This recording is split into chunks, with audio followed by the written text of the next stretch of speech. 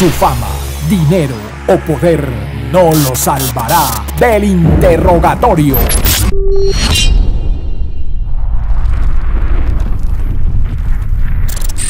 Maravilloso, gracias por estar ahí todavía, Janeiro Matos. Bueno, que nos acompañen. Si te gusta lo que estamos haciendo, vamos a tener muchas cosas importantes como estas, muchos amigos de la industria diferente que usted no lo está viendo en todas partes que van a venir al interrogatorio a conversar con Janeiro Matos, porque este es un interrogatorio tranquilo. Light, light, light, light. Aquí esto es con una cosa suavecita. Suscríbase a nuestro canal, Janeiro Matos, para que le lleguen ahí a Vice de cuando tengamos cosas nuevas y van a hacer muchas cosas importantes. Ustedes saben que yo estoy full en la radio gracias a Dios, pero hace tiempo quería hacer cosas como esta que se van a ir desarrollando, Homer, porque yo entiendo que uno tiene tantos amigos que hay cosas tan bonitas que compartir.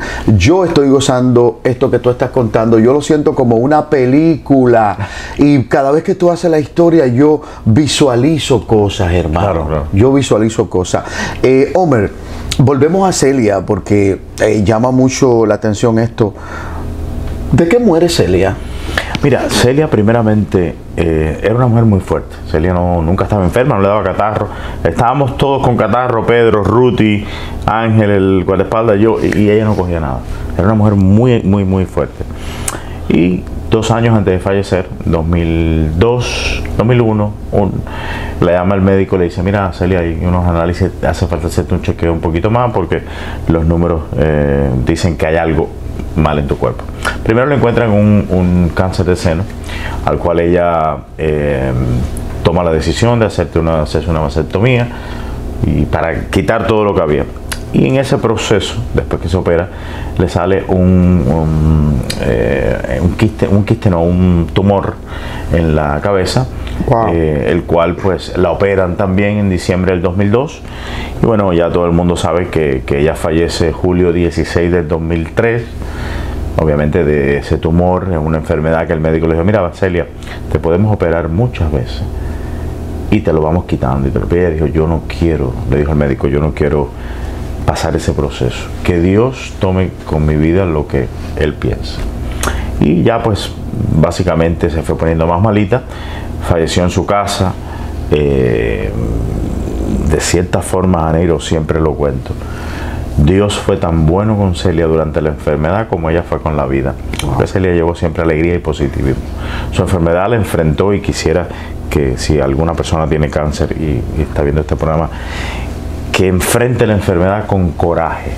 Yo le dije a Celia, es que tienes un coraje de vivir, porque Celia ni te hablaba de la enfermedad, grabó un disco completamente en esa época. Nosotros íbamos a un estudio en New Jersey, en Inglewood, el estudio de Frank Sinatra, y grabábamos por, por la mañana. Y por la tarde íbamos a las radiaciones al, al, hotel. Ella decía al hotel. Ella no decía ni hospital. Ella decía, vamos al hotel presbiteriano. Wow. al hotel, porque es que Celia era muy chistosa. Y ella misma hacía chistes de su propia desgracia. Y a ella no le gustaba mencionar en su boca cosas negativas. Por ejemplo, la palabra cáncer no existió durante todo el proceso. Ella decía, esa cosa que yo tengo, esa malanga, malanga es una, una vianda que los cubanos comemos, esa malanga que tengo, era, pero era para no darle poder al verbo de la palabra cáncer. Y al, al, hospital decía el hotel, el hotel presbiteriano. y entonces, pues nada, vivió esa enfermedad entre grabar, el tributo que se le hizo aquí en Miami, televisivo, que todo el mundo la vieron. Y fue muy positiva. En ese momento ya no podía, obviamente, la última vez que cantó fue en mayo del 2003, junto a la orquesta de Pacheco, en el Hotel Plaza para una gala de Hispanic Federation. Eh, y fue la última vez que ya yo la vi cantar, o sea, cuando la vi, cuando bajó y estaba el canario también. Le dije, Celia, yo creo que este ha sido el último día de tu de cantar. ¿Tú se lo dijiste? Sí, sí, porque le dije, por lo menos yo no te aconsejo que hagamos más nada hasta que no te recuperes, porque en ese momento nosotros pensábamos que se iba a recuperar, que iba a sobrepasar todo porque la veíamos invisible. Yo voy a hacerle como que iba a ser eterna, como que hoy iba a estar sentado aquí con noventa y pico de años. Eh, porque ahí con, hizo confusión de las palabras y de canciones. Mm. Yo dije, tampoco se la podemos exponer claro. a hacer un ridículo. No, no puede. Pero ¿cómo era ella? Y, cómo y no era la energía. El canario te lo puede comentar. No era esa energía de Celia de la tarima. Era una Celia más apagada. Y yo dije, yo no quiero que te recuerden esta es de verdad, posiblemente por, por un par de años no vamos a hacer nada. Claro, se nos vino después la- la- lo peor, ¿no? Se fue empeorando, pero en realidad la enfermedad, con su coraje que ella la enfrentó, le fue bastante bien. El médico decía, mira, ella después de las radiaciones puede tener unos dolores de cabeza increíbles. Nada, no le pasó nada. Wow, Gra- increíble. Gracias a Dios. o sea, Eh, le quitas a Celia ya en, en ese momento, le dices no va por cuidarla, porque manager que se respete y ella era casi como tu familia lo hiciste, pero le está quitando parte de la vida. Ella lo ha hecho todo, siempre ha estado en su carrera artística. Emocionalmente, con la enfermedad sabíamos que no estaba bien, pero emocionalmente ya no en los escenarios. ¿Qué te dijo? ¿Cómo se sentía? Mira, el, lo que ella hizo para en realidad cubrir lo que no estaba haciendo. Todas las mañanas ella tenía un- unas enfermeras que rotaban en su casa y se ponía a ver toda la- en, en VHS todas sus actuaciones, todo lo que había hecho durante su vida. So, ese último mes de vida, ella vivió su vida otra vez, recordando y me decía, mira, oh", porque yo, yo formé, y lo digo con mucha humildad, yo no soy familia de sangre de Celia Cruz, pero tuvimos tantas cosas en común. Ella fue tan buena conmigo y yo lo fui con ella. Y en el momento que se tenía que demostrarlo, para las buenas todos estamos, pero tú le demuestras a alguien quién eres en las malas. Y en esos momentos difíciles donde ella estaba enferma, yo estuve ahí 24 horas y no me pesa. Para mí es el- el- lo más grande que he hecho en mi vida. Entonces me sentaba con ella como así en un sofá a ver y a ver. Me decía, mira Venezuela, año 92, mira qué rico. está". So, ella disfrutó todo eso. Y yo creo que eso la hacía a no pensar cuál era su próximo paso. Te digo, Janeiro, que ella muere un miércoles, 16 de julio, y cuatro días antes nosotros estábamos planeando un, un photoshoot para el último álbum de ella que se llamó Regalo del Alma. Wow. Le pusimos ese nombre porque ella me dijo, Homer, si este es mi último disco, es un regalo del alma mía para mis fanáticos, porque lo hizo, como te digo, entre radiaciones y hospitales. Se metía tres horas en el estudio, iba a las radiaciones, o sea, era un regalo de, de- ella. Y estábamos planeando la foto. Lo que pasa es que esa enfermedad va avanzando y el sábado a domingo, la foto iba a ser el lunes, ella empieza a decaer. A decaer en términos, no agonía, de que estoy muy cansada, no me puedo levantar y, y, ahí el médico nos dijo, esto no tiene un final. Entonces el lunes yo cancelé por la mañana, llamé a Blanca, la sala Blanca, cancelamos la foto. Vamos a esperar una semana más. Y una semana más no, Lamentable. no funcionó, no, Dios no le dio esa oportunidad. Pero Janeiro, vuelvo y te digo, creo que Dios también le dio a Celia una gran dicha de morir en la cúspide, en la cúspide. Porque si Celia Cruz se mete 10 años en un hospital, la gente se va olvidando. Pero Celia murió con tres temas en la radio. Una mujer que estaba muy vigente, que estaba en el corazón de todo el mundo por su vigencia. O sea, no es aquella artista, oh, tal artista está enfermo, oh, está en el hospital. No. Celia murió, tuvo, bueno, un impasse de un año, eh, que las noticias, eh, obviamente, el descubierto, toda la prensa en el hospital y toda la cosa. Casi un mes antes dijeron que había fallecido y no estaba. Y se puso muy molesta. Estábamos en el hospital presbiteriano y me dijo, me voy a poner una peluca, me voy a poner en la ventana. Y yo coordiné con un camarógrafo dominicano que no me acuerdo su nombre, de Telemundo. Y le dije, mira, a tal hora, lo llamé, ella va a estar parada en la ventana, como si estuviera mirando para afuera y tú la vas a filmar para que la gente vea que Claro. es Nice. una mentira completamente que Celia Cruz ha fallecido. Me dijo, vamos a hacerlo. Me dijo, no tengo ganas de... Ahí dice, su peluca. Qué linda, Y ¿no? se paró en la ventana, lindo porque ella decía que, coño, estoy viva y me están matando. Eh, pero una mujer de mucha fuerza. Qué lindo, mucha qué fuerza, mucha alegría, tú que la conociste mucho. Ella entraba al estudio en una entrevista contigo y tú sabes bien que Sí. soltaba la cartera, te daba un abrazo. Sí, sí, sí, Janeiro. ¿cómo tú estás? Janeiro, tu familia. No es el esta cosa que hay hoy que los artistas entran con el teléfono en la mano, como tú dices. Que casi te saluden o no te saludan. Sí, porque lo Porque piensan que son dioses. Y ojalá, yo siempre digo a todos estos que veo, digo, ojalá que el día de mañana la gente los recuerde de aquí a 20 años. Sí, es así, es así. Eh, ese legado de Celia que, que, me está contando Omer Pardillo, fue manager, casi hijo de Celia Cruz, entró a los 14 años a trabajar con ella, como nos ha contado aquí.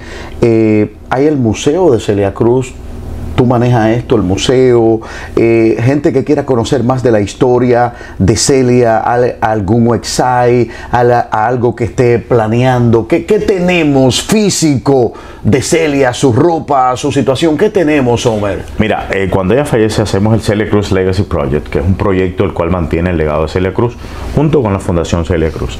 La Fundación Celia Cruz hace educación musical, entregamos becas al año a diferentes colegios en Miami, en Nueva York trabajamos mucho con el Celia Cruz High School of Music en el Bronx.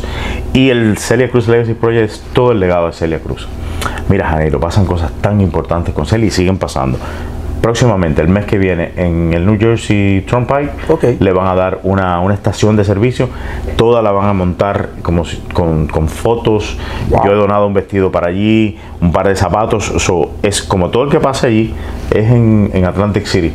Cuando pasas y paras al servicio, entras al lugar y te vas a encontrar todo Celia Cruz excelente porque sabes el tráfico que pasa por ahí. Eh, este año Target está celebrando el mes de la herencia hispana con una línea de camisetas de Celia.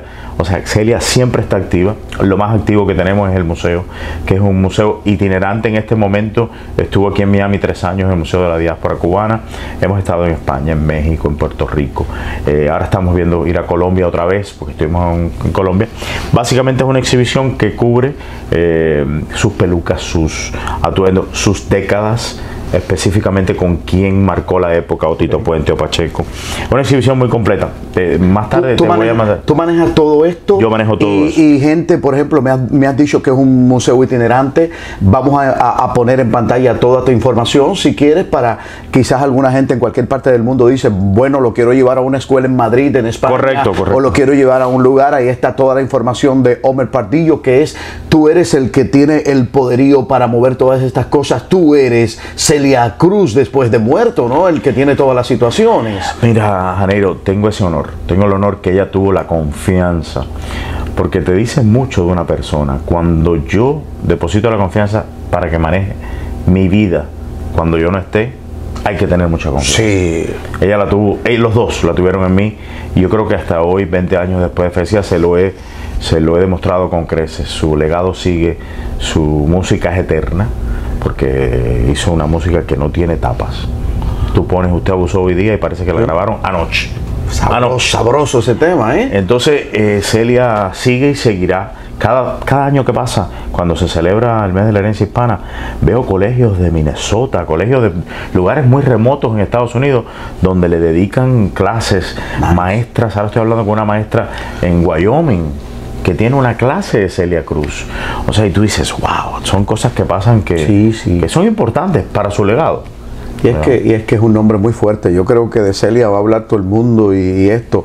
Homer, de verdad maravilloso tenerte, hermano, conversar contigo, que estés aquí. Y, he visto eh, tu narración tan, tan de adentro, tan del corazón. Yo sé que tú no hablas estas cosas con mucha gente y te quiero decir que tú sabes que honestamente lo que ha pasado aquí hemos fluido. Claro. no fue una situación porque no quería que pensara que, que te buscaba para, sino para conversar con el amigo y que la gente vea en ti dos cosas aquí que es un hombre joven que pudo manejar la carrera de una gran artista y sobre todo la honestidad, porque conociste a Celia de una manera, como nos contaste, tan coincidencial a los 14 años. Gracias por haber estado aquí. Me encanta verte bien porque me enteré que tuviste un accidente eh, en, en España y lo supe después que te sanaste, o te pido excusa porque ni siquiera pude. ¿Cómo te sientes del accidente? Mira, ahí estamos eh, echando para adelante. Eh, me caí por unas escaleras por, por, el teléfono, estaba mandando un texto y caí por unas escaleras y me partí el calcáneo, que es una parte del, donde el cuerpo descansa completo. Tengo unos cuantos, eh, vulgarmente decimos los latinos, clavos, pero son unos pedazos de hierro en mi pie. Pero ahí vamos, ahí vamos, la vida te enseña. Eh, estuve eh, en una cama un cierto tiempo y eso me enseñó y a reflexionar lo que quiero hacer hoy día. Dejar de trabajar tanto, escoger los proyectos, Yo nunca he sido de muchas amistades, tengo pocas amistades. Los que, los que siempre he tenido estaban, los que se preocuparon o los que no se preocuparon, pues eso te enseña muchas cosas de la vida. Mi vida feliz hoy día, mi hijo que tiene 10 años, que es tremendo jugador de soccer, que lo puedo llevar toda la semana a los juegos, que lo llevo los veranos a Madrid, al, al campo de Real Madrid a practicar y a un colegio de verano, o sea, son cosas. La vida tiene etapas. Sí. La etapa de las fiestas se acabaron, la etapa de los conciertos, o sea, de aquella. Porque yo te lo juro que he vivido una vida muy intensa. Sí, claro. Muy intensa. Tú sabes que este negocio no se descansa. Todos quieren estar en nuestros zapatos. Todos. Yo quiero ser Janeiro Mato. Yo quiero ser tal fulano y de tal. Tú Es sabes, mucho trabajo. Es mucho trabajo. Y sacrificas tu vida personal. Y yo la sacrifiqué por muchos años. Porque yo los años de Celia era una ciudad tras de la otra, un día tras del otro. Y ahora me doy cuenta que me da mucho placer poder montar bicicleta, estar con mi hijo en los juegos. O sea, son cosas, son placeres diferentes. Ya aquella cosa, ya yo hice todo lo que quería hacer. O sea, hay cosas que la gente me dice, pero coño, tienes 50 años y hablas como si tuvieras 80, que ya te quieres retirar. Es que no hay nada que me dé más placer en este momento, Janeiro, que disfrutar. Como que si ahora tú y yo nos vamos a tomar un café a la esquina, eso lo disfruto más que aunque me diga vámonos a una fiesta que está lanzando un disco. O sea, esas cosas ya las hice, las hice en los momentos correctos. Sí. Y la industria ha cambiado mucho, se ha cambiado muchísimo. Ahora empecé a pintar, Ah, nice. yo tengo pocas frustraciones en mi vida, pocas. Y una de esas eh, siempre había sido pintar. O sea, ahora me estoy armando unos. eh, eso es como un arte alternativo, donde, por ejemplo, cojo una foto de Janeiro Mato y yo sé que a Janeiro le gusta, no sé, las bicicletas. Entonces yo corto bicicletas pequeñas y te las pongo en el cuerpo. qué Es como un arte mixto. un Me arte gusta mixto. esa idea. Un arte es eh, la persona o lo que escojas. Yo retrato muchas palmas, me encantan las palmas. Entonces, pues le, le pongo cosas y me entretengo. No tienes. Entonces, mi hijo me ayuda. Él es el que me no papá, cámbialo para acá, no papá, mira, vamos a ponerle azul aquí, verde aquí. So, ese tipo de Qué cosas lindo. lo disfruto mucho, Janeiro. Claro. Que son los placeres de la vida. Sí, las cosas Porque al final este negocio sí te trae muchas cosas lindas. Yo entro a mi oficina en casa y me da mucho gusto, mucho honor ver dos Grammys, un Emmy. Todos esos son reconocimientos bonitos. Pero cuando tú tienes una, sólida, una familia sólida, una madre que tengo que es espectacular, que es la mejor abuela del mundo, Amén. mi esposa, mi hijo, ese círculo es mi vida. Qué chévere. De ahí en fuera no pido, no pido nada más porque ya Dios me, me bendijo con tantas cosas bonitas. De verdad que he sido bendecido en la vida. Increíble, mejor de lo que pensaba. Esta conversación con un gran amigo, Omer Pardillo. Ustedes lo han visto todo. Ahí está su teléfono, ahí está sus redes. Cual- el hombre es un zar del evento. Él dice que se va a retirar, pero si usted quiere un evento importante, en Miami le están dando tantas grandes oportunidades para hacer cosas. Eh, hablaste de tomarnos un café y disfrutar. Esto se acaba. Gracias. Yo soy Janeiro Matos. Él es Omer Pardillo, mi invitado. Conocieron muchas cosas de Celia. Vamos a tomarnos el cafecito. de Vamos, hora. Janeiro, miles de gracias. Muchas bendiciones para ti y tu familia. Te quiero. De siempre, igualmente. Aquí tienes quiero. un amigo de, de toda la vida. Gracias, Que aunque no nos veamos todos los días, Pero el respeto está. eh, nos vemos y, es, y ahí está. Te quiero. Gracias, Janeiro. Gracias, de verdad. Nos tomamos el café. El interrogatorio continúa y vendrá más agresivo.